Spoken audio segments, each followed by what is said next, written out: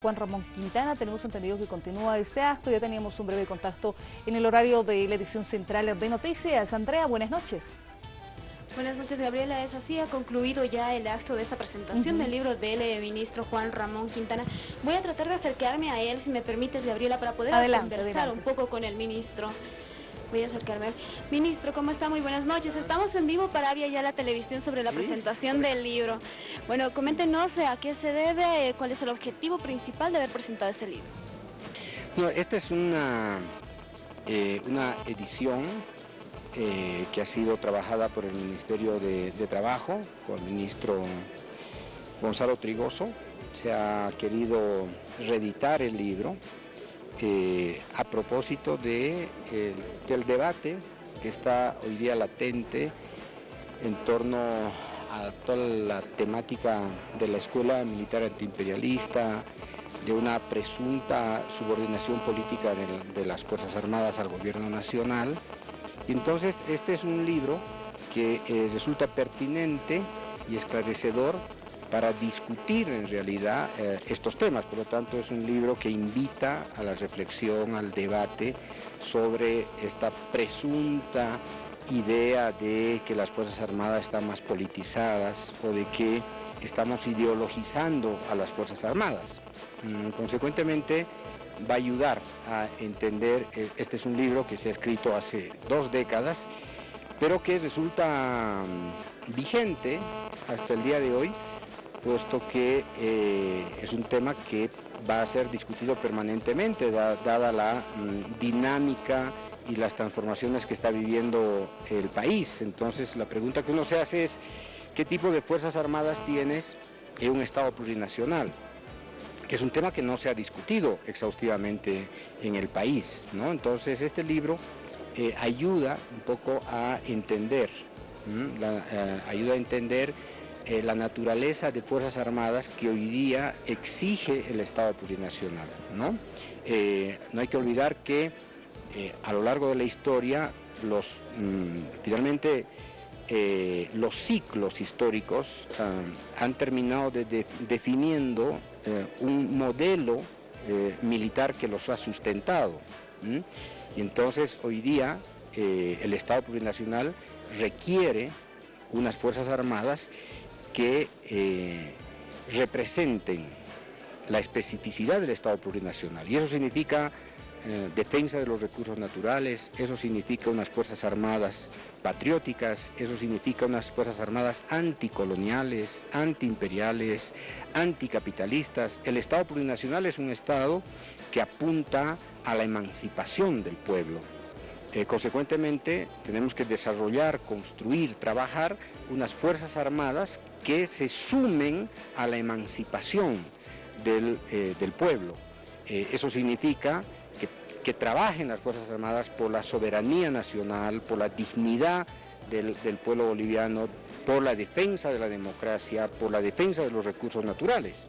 Entonces, la, naturaleza misma del Estado plurinacional está exigiendo a, las Fuerzas Armadas que eh, encarnen el mandato, el contenido del Estado plurinacional, que es un Estado de inclusión social, es un Estado que respeta los derechos humanos, es un Estado que reconoce a todos igualdad ciudadana, es un Estado que reconoce la diversidad eh, cultural, étnica, es un Estado que reconoce las autonomías.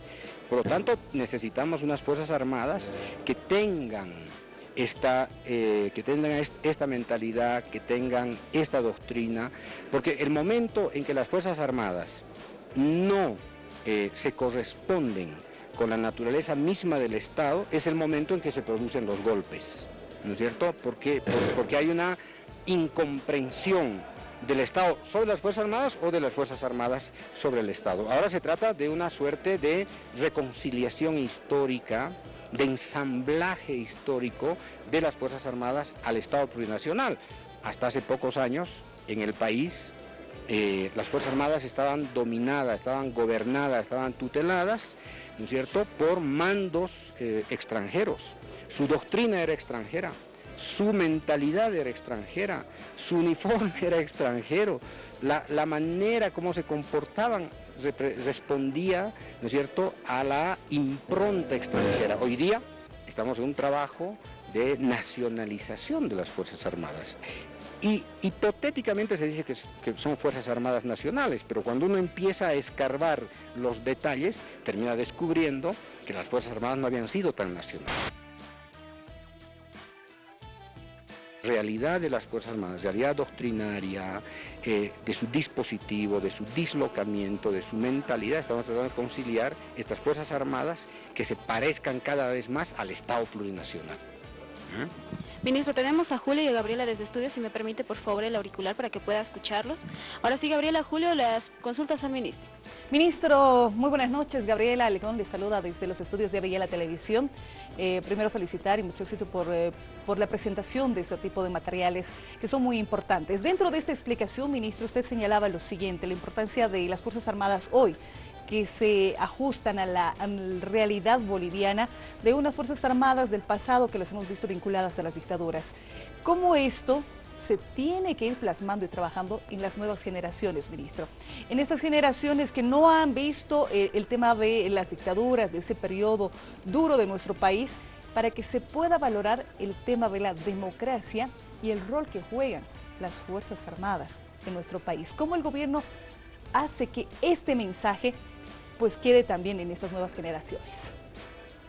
Un elemento, Gabriela, muchas gracias, muy buenas noches, un saludo a todos los televidentes de Aviala.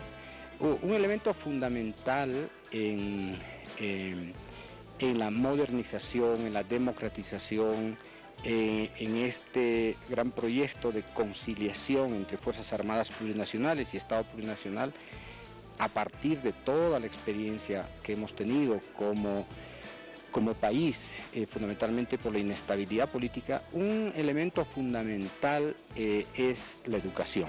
Eh, si no educamos a las Fuerzas Armadas en una cultura ciudadana, no vamos a tener unas Fuerzas Armadas que obedezcan al imperio de la ley.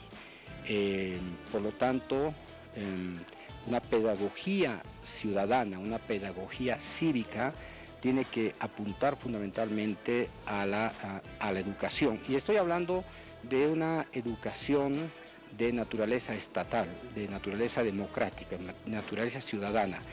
Em, desafortunadamente la historia en Bolivia nos ha mostrado a, a Fuerzas Armadas que han desarrollado una lógica de tutelaje, de supremacía sobre la, eh, sobre la ciudadanía, creyéndose portadoras de un modelo eh, cultural y político que les ha permitido mm, dotarse de márgenes de autonomía, de discrecionalidad, de corrupción y de abuso de poder.